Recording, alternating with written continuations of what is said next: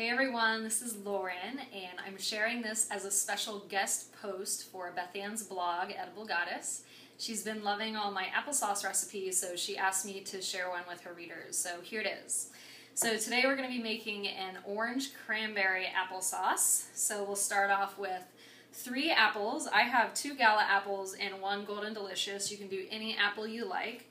And it's so simple to do applesauce right in the Vitamix. So I'm going to chop up all three apples into just medium-sized chunks. It's going in the Vitamix. You don't need to do a whole lot of fine chopping. Just get the core out of there. And we'll put one and a half of the apple actually in the Vitamix to begin with. We're going to create some texture with the rest of it once we've done some blending. Now we're going to add some fresh organic cranberries, just about half a cup or so. Now we're going to sneak some turmeric in here. Turmeric has lots of health benefits, so I like to sneak it into things like applesauce or smoothies. So we'll just throw it in there. It doesn't affect the flavor at all, just a couple dashes. And then next we have an orange. So I'm just going to cut off about a quarter of the orange. I'm going to use my hand to squeeze the orange juice in there. Just give it a little bit of that orange flavor. You could also just cut the rind off and throw the whole chunk of the orange with the fiber and everything in there too. It just depends on if you want your applesauce a little more fibrous or not. So I decided to just get the juice in today.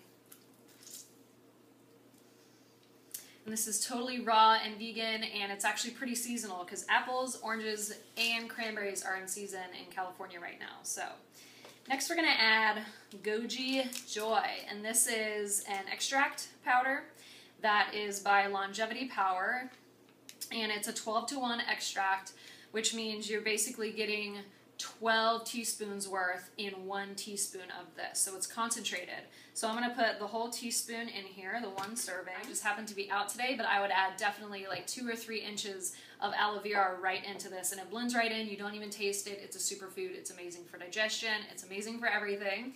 So throw that in there if you have it. Next, we're going to add a little bit of sea salt, Celtic sea salt. You can use whatever salt you like, the stuff that is the highest quality that you have. If you don't want to use salt and you have some Irish moss laying around, you can definitely throw some prepared Irish moss in here. That also will not have too much of a flavor effect on here. You're going to get all the minerals from the Irish moss and the salty flavor, so probably just like a couple teaspoons of that would be fine.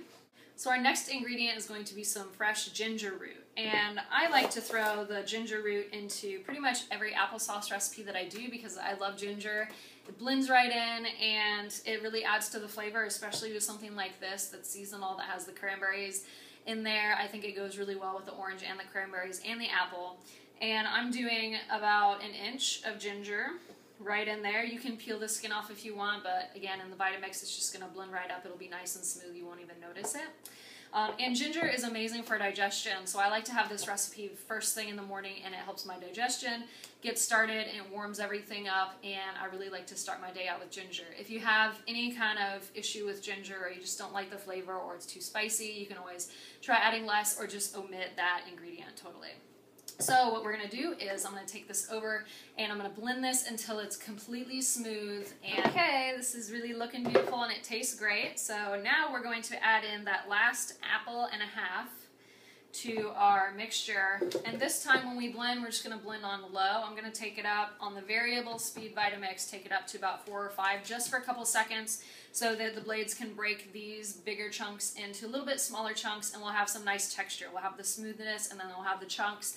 If you just want total smoothness or your kids have a preference or whatever, you can just blend it all at one time until smooth. So we're going to do that and we'll see how it turns out. All right, this turned out awesome. I just tasted it and it has a nice balance of that tart cranberry flavor with the sweetness of the orange and the apples.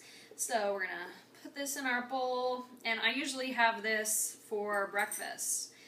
This will just be my entire breakfast and it's super quick to make. It's super easy. You can give it to your kids. It's got amazing health benefits. You can sneak all kinds of superfoods in here. You could throw some maca in here. You could throw, what else could you throw in here? Leave a comment below and let me know what kind of superfood or additional ingredient or spice you might add to this recipe to customize it for you or for your kids or for your spouse or for a friend or just to get creative. So for the finishing touches, I like to use the rind from the orange that I juiced and a microplane, which is a zesting tool. I'm just going to hold it right over the bowl and I'm going to just get some orange zest right over this. And it's a nice complement to the color and it adds a little bit of flavor when you take that first bite. And see you next time.